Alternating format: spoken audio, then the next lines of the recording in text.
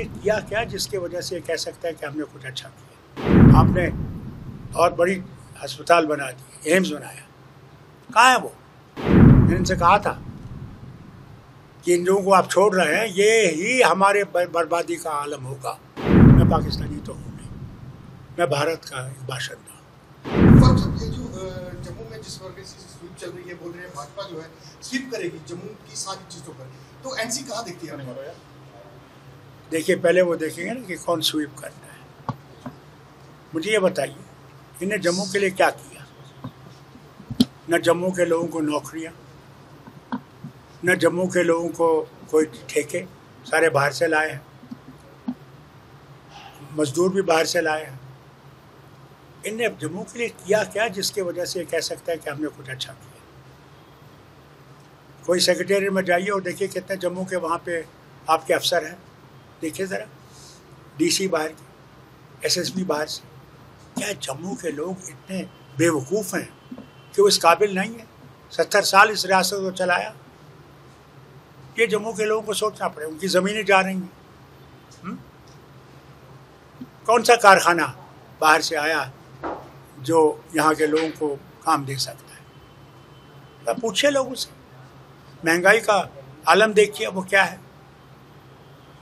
और ये अगर कहते हैं कि जम्मू को स्वीप करेंगे, किस तरह करेंगे? क्या इन्हें जम्मू के दिलों को जीता है? आईआईटी बनाया हाँ?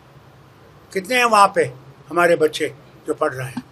कितने हैं वहाँ प्रोफेसर्स जो जम्मू के हैं? उसका जवाब दें। बनाना तो बहुत ठीक है। आपने बहुत बड़ी अस्पताल बना दी एम्स बनाया। कहाँ है वो? कौन सा चीज़ वहाँ चल रही है?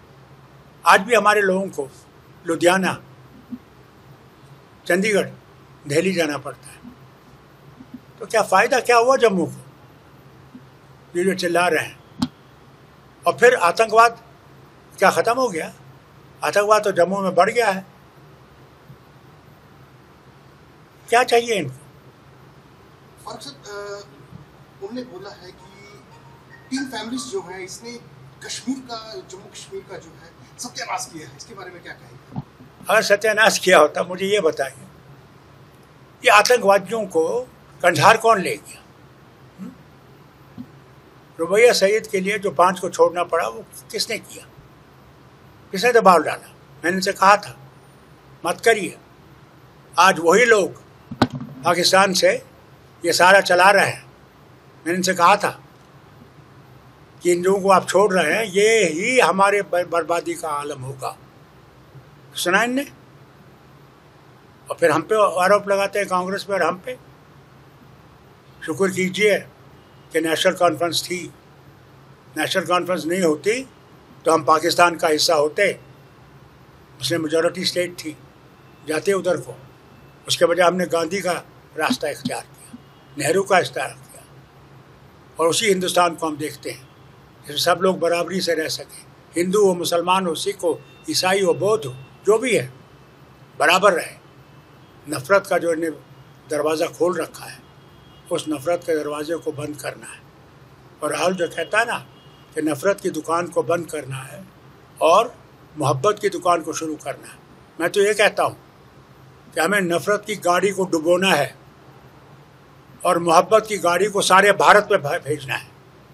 हम भारत का ताज है और भारत के ताज से ही वो सूरज निकलेगा। डॉक्टर साहब आप कांग्रेस और एनसी अलायंस में 370 बहाली की बात कर रहे हैं। पाकिस्तान के फॉरेन मिनिस्टर ने भी कहा है कि हम कांग्रेस और एनसी के साथ खड़े हैं। किस तरह से आप देखते हैं? भैया पाकिस्तान क्या कहता है मुझे क्या पता है? मैं पाकिस्तानी तो हूँ नहीं। मैं भारत का एक बाशिंदा हूँ साहब असेंबली इलेक्शन हुआ तो कितना बहुत अच्छा है। आठ तारीख का इंतज़ार कीजिए। आठ तारीख को सब दूध का दूध पानी का पानी आपके सामने आ तो अगर एनसी सरकार बनाती है तो स्टेटहुड के लिए सबसे पहले क्या किया जाएगा? मैंने दो चीज़ें करूँगा। पहले मैं दरबार वापस लाऊँगा। उस दरबार मुँह से हम दोनों को नुकसान हुआ है। दरबार मुँह महाराजा पागल नहीं थे। दरबार मुँह जब करते क्यों करते थे? सर्दियों में यहाँ काम होता था। लोगों के पास जाते थे। सारे जाते थे। एक रिश्ता था। जम्मू का और कश्मीर का। उस रिश्ते को इसने तोड़ दिया। गर्मियों में वहाँ आते थे और मेहनत से हमारे यहाँ काम करते क्योंकि हमारा सीज़न बहुत छोटा है। उस दरबार मुँह को वापस लाना है। आप जाइए, पूछिए जम्मू के लोगों को, कितना नुकसान जम्मू को हुआ है जब से दरबार मुँह बंद हो गया।